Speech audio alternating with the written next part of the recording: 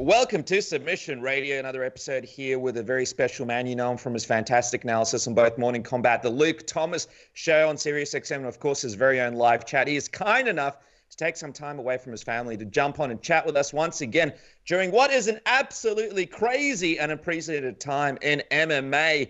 The man himself, friend of the show, absolute legend Luke Thomas, is back on Submission Radio. Luke, thank you so much for joining us, man. How are you today?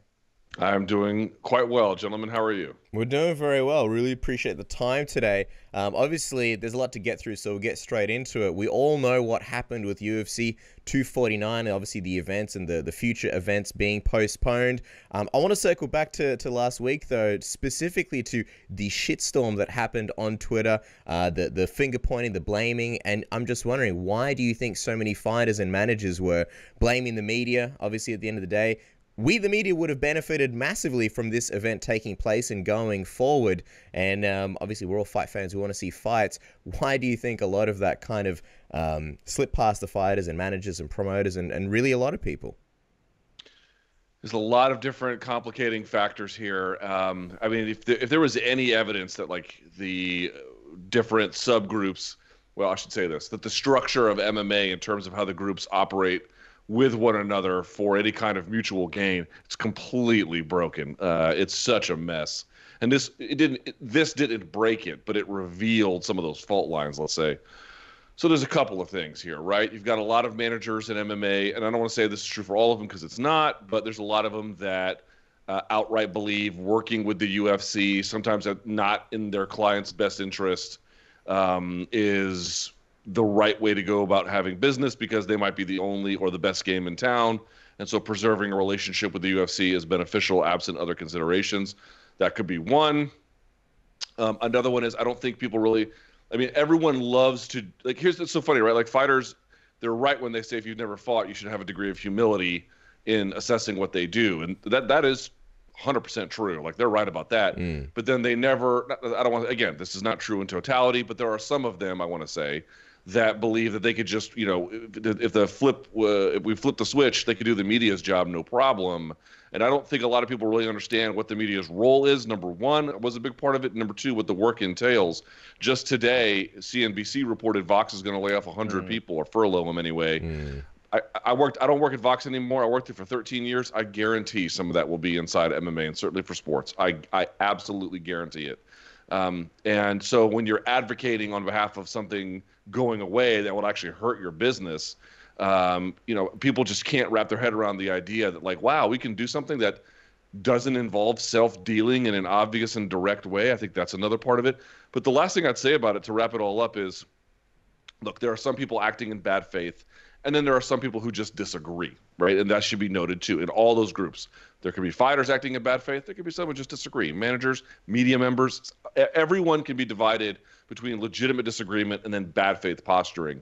The one thing I would say that I think this really showed me was, um, you know, I'm not entirely sure how true this is in Australia, but certainly in the United States, this is true. Um, the culture wars in the 1980s and the 1990s here, where, where you had these different uh, political identities, they were fought along things like a very serious consequence. Um, let's say gun rights, abortion, affirmative action, that kind of a thing, right? And uh, you notice what the word I used was there was political political groups, but now it's become layered into every part of identity.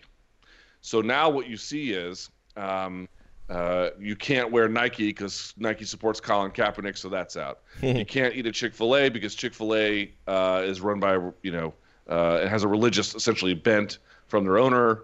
And so you can, so in other words, it layers onto what you eat, what kind of music you listen to, what your mm. friends are, what kind of news you watch.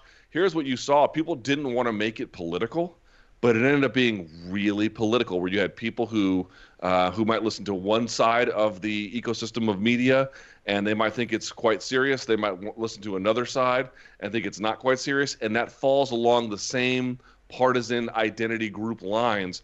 So this was the first time that like I had seen a uh, culture war inside of MMA because the COVID issue has been made. Uh, because the because the culture wars eat everything now, mm. and so mm. why wouldn't it eat this one? And so you saw that play out inside MMA. Mm, it's fascinating. Everybody's looking for someone to blame as well. and I guess media is one of those things. And with the election coming up over there down your way as well, Luke, it must make things quite difficult with everybody pointing fingers left and right. But let me ask you this the governor of California ultimately stepped in and put a put a halt to the event. He put a call into Disney, the head of Disney, and then that the head of Disney called Dana Dana White, and then Dana White stepped down and then canceled the event. My question too is, what was your reaction when you saw Disney get involved? And with Disney being a family friendly uh, company and someone that's always sort of been very careful not to upset people and not to put out a product that tarnishes their brand, when this Fight Island is ready, do you believe that Disney would actually allow the UFC to fight on this Fight Island if there's a lot of scrutiny from families and their target demographic and could potentially damage their brand? I'm not sure why people think this was like some great adult in the room scenario where Disney stepped in and said we had enough. Uh, I don't really buy that. they didn't hmm. say or do anything, it appears, until the governor of California called them, and then Senator Dianne Feinstein, who is a reprehensible creature. However, however, she is. Here, here's my point. Every time you bring someone up, they're always like, "I don't like this politician. I don't mm. like this hmm. politician either." But that's not the question here. The question is, how powerful are they? Mm. Right? And so she was a she is a ranking member of the Senate Judiciary Committee. Man, that's like, I mean, we're talking about a very very important political figure for the state of California, which is the fifth largest economy in the world. Dude, ESPN and Disney did nothing until the phone started ringing from Gavin Newsom. Like this, I, I mean, I'm not privy to those phone conversations. Okay, fine. But if they didn't say anything until the governor got involved, why are we operating under the pretense that they were sitting there biting their nails the whole time, hoping that something would go right, uh, or you know, really worried about the state of things. They they didn't act until they were forced to act, essentially by either political pressure or however you want to describe what Gavin Newsom um, applied there. So like, I'm not in any way working under the assumption that ESPN were the adult in the room here or Disney either. I'm operating under the assumption that, you know, remember Disney is having or was supposed to have a changeover in leadership right as this crazy crisis hits. They announced yesterday they're going to furlough 40,000 people. Their parks are in peril. Um, you mm. know, Disney's a huge and complicated business, but doing business in California in many ways is part and parcel to their existence. Mm. So when the governor calls and says, "You better, you better figure something out here," that to me is the story here. The story is not corporate. I don't know what you want to say. Corporate responsibility. I, I, I, I mean, I, I will say this: if that is proven wrong, I'm happy to come back on the show and say, you know what, I was too negative about it, and I should have uh, given uh, Disney and ESPN the benefit of the doubt. But ESPN, dude, Outside the Lines aired over the weekend, right? Which is supposed to be their watchdog program. You know how much they devoted to like critiquing everything that happened, even like even just a you know talking about it in some kind of full throated way. Zero, nothing. You hmm. saw a little bit of Will Cain being like, why can't we just find solutions? I don't know, Will. this shit's real bad, dude. I don't know. Maybe that's why we can't. You know, it was just like you can't like, dude, this idea again, this idea that, dude, ESPN is not a disinfectant of MMA. It is an accelerant of everything bad. It is an accelerant. You've got to wrap your head around that. And the reason why is because the journalistic arm of it has been totally neutered. Mm. Uh, they're partners with the organization. Jimmy Pitaro, the head of ESPN, made it a point to say, on Peter Kafka's of Recode Decode podcast, we want to give people more access. He was explicit about it. There has been really no check on the UFC since they joined with ESPN by ESPN entities in any kind of full throated way whatsoever. Uh, and so, you know, this idea that like they were the ones who had to step in and save the day. No, they got told to step in and save the day. I am not convinced at all that this is any kind of like you're asking about the future. I mean, we'll see because now it's out there and people kind of are paying attention to it. Mm. But like going forward, are they the watchdogs? No, no, no, no, not even a little bit. Do you think the location of Fight Island makes a big difference as far as who may or may not step in in the future? Like, I imagine, you know, Big Gav isn't going to call again and be like, hey, you know, don't do Fight Island or Mickey Mouse gets the chop in California. Like, if Fight Island is near, like, Costa Rica or something, you know, uh, far from the US, do you think that makes it more likely that it will happen? The UFC can self regulate and not really worry about government officials getting involved? Yeah, I mean, Costa Rica's not that far. Uh, it's only about four hours or so from the States. That's closer than Panama. Mm-hmm. Um, I was, well, it depends where you are in the States, obviously. My geography is terrible, Luke, as you can tell. Yeah, no, it's okay. I mean, it's uh, it's above South America, so let's put it that way, right? Mm-hmm. So it's not that far. Um, I, yeah, yes. I mean, the answer is you would want to go to a place that is close enough that far away places outside of the U.S. Um, can get there with relative ease. Plus, it would involve a degree of um, you would imagine self-regulation, and they might do the whole bit where they, you know, they bring in Nevada entities, or you know, they follow a certain protocol, or you know, who who knows exactly. Like, I don't think they're going to go in there willy nilly, like they like they were trying to at Tachi Palace or whatever the arrangement there was going to be. I think they'll go in there, even if it's self-regulated. They're going to wait until at least one state is giving the green light, and then they might take guidance from that state and say, "Hey, we're following this to the letter," you know. So I expect I suspect it'll be that. I, my thought was it was going to be somewhere in the Pacific because that way you, you, could get a lot of Asian fighters, Russian fighters, mm. potentially. Right? I mean, the Russian ones it's a lockdown, but I'm saying once travel restrictions ease a bit. Um, but maybe not. Maybe it's in the Caribbean, so you can get Brazilian fighters slash European fighters to come over again once restrictions ease a bit. I do think the location matters less so for regulatory scheming, but more for um, what is a sort of neutral-ish place that a lot of people can get to with relative ease, and where that might be, I, your guess is as good as mine. Mm. It's a bit of breaking news, but really, I believe the Fight Island is going to be in Tasmania. So there it is, everybody listening right now.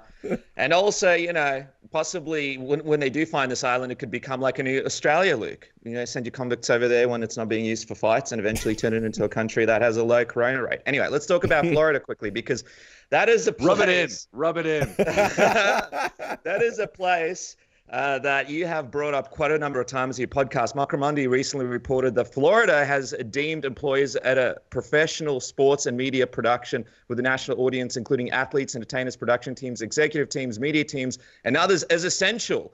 And Raimondi also tweeted that when he asked Cody McLeod, press secretary for Florida government, uh, I mate Ron, if a UFC event or boxing match could be deemed essential, it could, McLeod said the memo does not specify specific sports as long as the event location is closed to the general pub- public. So the UFC would still need a commission to sanction the event. But how do you think this affects things moving forward? And the crazy thing is, you were the man that was predicting this massive outbreak in Florida weeks and weeks and weeks mm. before it happened. How do, you, how do you react to them actually being open to the events happening, even with what's happening over there?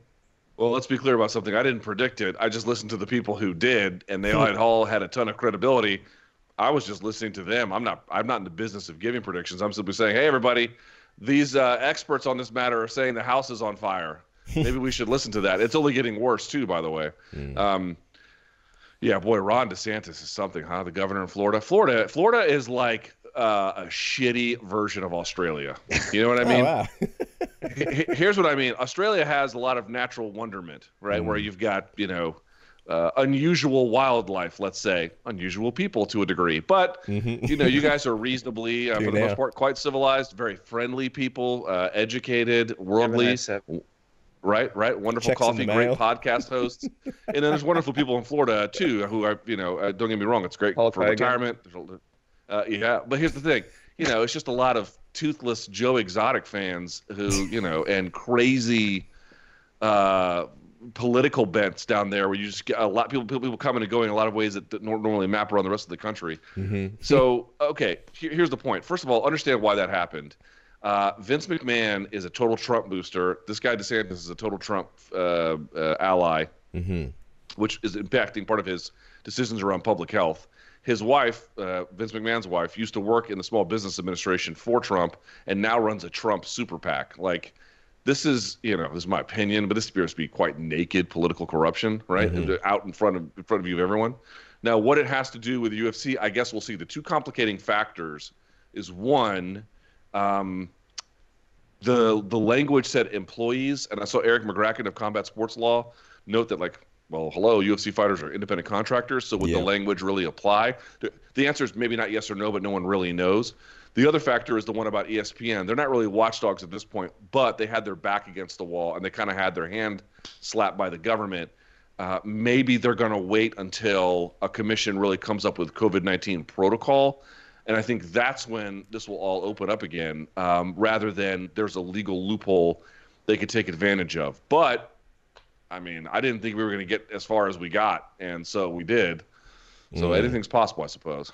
Just before we get off, you know, the topic of uh, you know UFC events moving forward and coronavirus and all that kind of stuff, I'm just wondering, do you see a way where Fight Island could actually be a good thing and to be able to do it successfully? Not in terms of you know, revenue or anything like that, but just a, a way that it makes fighters more safe. Or do you think this could potentially be a a situation where you have one island, someone comes in with coronavirus, and then basically everybody gets infected? Yeah, I mean that's the other part about it. It's like, oh, we're building out the infrastructure. Curious to see what that is. I mean, I'm not in any way poo-pooing it. I'm curious to see more about it. But it's like, what is the island's protocol in case COVID-19 breaks out there? Mm. And the the argument I'm sure would be, oh, we would take precautions so that it wouldn't. Okay, right. So let's say that it. I mean, it sounds like Jurassic Park. Oh, the yeah.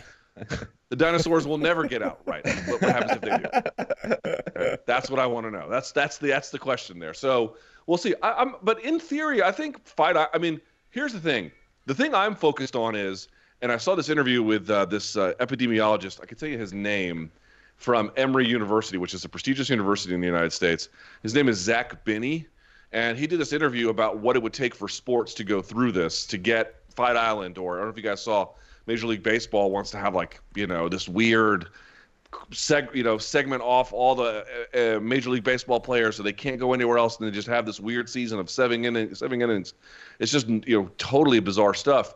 And his the basic you know if you just he didn't say this explicitly, but if you just read through, basically what he says is right now, given how bad the spread is, there's just not. I'm not saying it's not possible, but it's extraordinarily difficult to do and really put people's minds at ease and you know, reasonably prevent the spread of this disease right now. But then they talked about Taiwan. You know, Taiwan has done a phenomenal job in uh, handling this. Taiwan now, groups of 500 or more can get together. Now that still doesn't wow. allow you to open up a stadium. It doesn't allow you to, you know, have it as normal. But you could, uh, 500 people, dude, you could host UFC fights every day of the week in Taiwan. I mean, mm. it would be hmm. nothing. You know what I mean? So the, his point basically is, is if you read through the the, the uh, interview he did, as soon as this as soon as you get a handle on the virus and cases go down and you've got it under control the logistics become way easier way easier. It's just right now it's very very difficult. So to ask about fight island i'm less consider i'm less interested in to what extent that is some kind of oasis away from the problem. All i'm focused in on is let's see a commission come up with protocol for it that you know that by the way the coming up of the protocol happens in a transparent way in public. We can all see and weigh in on it, and experts are called, and they kind of figure this out.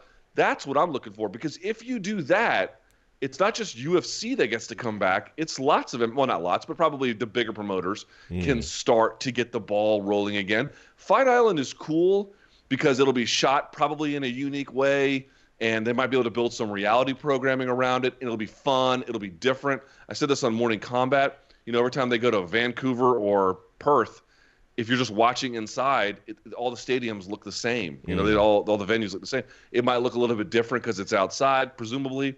So that that's kind of fun. To me, that's fun. But I'm focused on let's get a structure in place that everybody can follow, that we can reasonably believe that protects people, and let's get the ball rolling once that's ready. Mm. The itchy and scratchy land uh, metaphor also applies to Fight Island when you think about it. But you also spoke to Kevin Draper of the New York Times recently, and he said that Mark Shapiro, the president of Endeavor, the UFC parent company, said the financial pressure was not a motivator for the push to keep the UFC schedule going. What we did see that, according to Yahoo.com, S&P Global on Monday downgraded its credit rating for Endeavor from B to CCC plus which for everybody that's still listening to this interview takes the company from highly speculative to substantial risk. So just breaking that down, do you think Shapiro's claims are true? What does this mean for the company? How how bad of a shape do you think that it's in? Uh, well, that's a little to be. Uh, some of this is still unclear. Mm. To me, the thing that we have to look at is some of the loan covenants, and then when the payments are due, and what happens when that's the case. To what extent? I mean, here, here's the basic problem with Endeavor. Um, two, or two things, I should say. One, they bought into a lot of live event businesses. It's pretty sweet if you can have a live event. Mm. Um, if you can't, that begins to you don't have enough of a diversified portfolio of how your revenue is generated. That's one problem. The second problem is they have operated on thin margins. Um, they had acquired a lot of debt. So yes, they had. I mean, UFC has been very. Let's be clear about this. UFC by itself as a property for Endeavor it's a huge win. I mean, UFC is killing it. Uh, granted, everyone is running into trouble at this moment, but let's say You know, uh, up to February 2020, dude, UFC was, I mean, smashing it, smashing it, and they were poised to have even great, greater year with the return of McGregor and everything. So that is a very valuable asset for Endeavor, and there should be no mistake about that. Um, but the problem is they had so much debt, not merely with the purchase of the UFC, although that's the biggest one, um, but they had other assets that they had purchased, and they had done it leveraging their debt. Then, um, end of last year, they had tried to have a, an IPO, and it failed. They tried to have, you know, people essentially let them go public, have a bunch of cash infused as people buy stock, and use that to sort of uh, buoy yourself. And it went away. Then they pulled out a $300 million dividend from what the UFC had made and to give it to their celebrity investors as well as other folks who were waiting for money from that failed IPO. And you just get to a scenario where it's like you're the, many of your core businesses are not operating. You're on thin profit margins. You're spending what you have to make up for other losses, and you have an extraordinary amount of debt. Not great, Bob. Not mm. great. Um, mm. It's it's a, you know it's I'm not here to say that that's like calamitous or just bad. Don't really know. Kind of a wait and see approach, but you know it's not it's not great, uh, and it gives you some concern about um, less so the UFC because if we got to again, and I am wildly speculating about this, but let's say it gets to the point where they have to sell it off as an asset, dude. Whoever picks it up, I mean, it's a jewel of an asset. They're going to be fine. It's just sort of this weird moment about. Um, how these companies are run and uh, if there are any consequences for the UFC if they end up trying to retain it and how that might alter the business in terms of how fights are made and what the business strategy ends up being. So it could be a little dicey. I, I, it's it's hard to say right now, but there are some some warning signs. Yeah, that's absolutely wild. Um, we want to ask you about some more wild things, such as Tony Ferguson versus Khabib, that fight potentially getting rebooked, and Justin Gaethje versus Conor McGregor. But just speaking of wild things, this Ridge wallet is absolutely wild. I know you've been hearing me talk about it for the last few weeks. This is my actual wallet about how sleek and sexy and streamlined it is, how it comes with a lifetime guarantee, how it comes with free shipping worldwide, free returns if you don't love it, how there's over 30,000 five star reviews, how this one is carbon fiber, you can get titanium, you can get aluminium. You can get it pretty much anywhere you wanted it, all sorts of different colors, fancy designs. It keeps all your stuff safe. It's RFID safe. It's got a fancy cash strap. You can get a money clip if you like. If you want, you can go on the website ridge.com forward slash submission and use the code submission for your cheeky 10% discount. And you've been hearing me talk about all the places that I've taken my Ridge wallet to over the years, you know, like UFC events, like the Great Wall of China, like Stonehenge, like the Lincoln assassination, like the Last Supper, the crucifixion the resurrection, Michael Jordan's iconic dunk, Kim Kardashian's house, the moon, uh, and of course my local supermarket. So the Ridge Wallet, it's been there, it's been there, done that. It's been absolutely everywhere. So get one for yourself. Uh, 30,000 five star reviews. It's cheap. It's got a cheeky discount, and a discount is something that we desperately need in dire times like this. Ridge.com forward slash submission. Use the code submission for your 10% discount, and a massive, massive thank you and shout out to Ridge.com for sponsoring us through these hard times. Um, but like I mentioned, I want to get your thoughts, Luke, on Tony Ferguson versus Khabib Nurmagomedov. If you were kind of relieved that this event, you know, got delayed and this Justin Gaethje versus Tony Ferguson fight fell through, so that now hopefully we can see the fight that we all wanted, which is Tony versus Khabib. Also, wanted to get your thoughts on Tony Ferguson saying that he's going to cut weight by Friday and make weight by Friday the uh, the originally intended time for the weigh-ins, which on one hand, super admirable thing. It's it's admirable to see what a hard worker and what a dedicated human being Tony Ferguson is. I mean, we all love the guy; he's awesome. But also, it's a pretty risky thing to risk, you know, cutting weight and lowering your immune system in such a crazy time. Um, and also, I wanted to get your thoughts on Conor McGregor versus Justin Gaethje. If you think that is the fight that may potentially end up happening, I know it's a it's a ways down uh, the track, but just wanted to get your thoughts on it. Yeah, that's going to be a tough one. I mean, it is really, uh, and this is the hard part. This really all depends on when we're going to get back. Jesus, you know, like, are we going to get back next month? Are we going to get back uh, in June?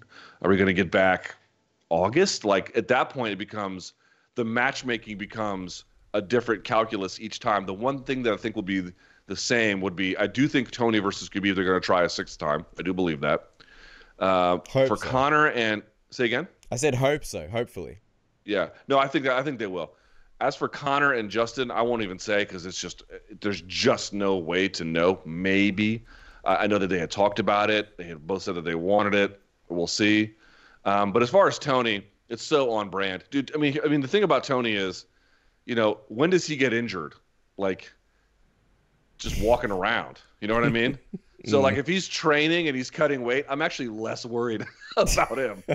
I actually feel like he's like, wow, he's depleting his uh, he's depleting his body and uh, potentially compromising his immune system. Uh just don't walk on any cables on a studio set. Yeah. And we're good, dude. You know what I mean? Like honestly, he has like like with these people like Tony who march to the beat of their own drum and know their bodies and know themselves and know what they want to do.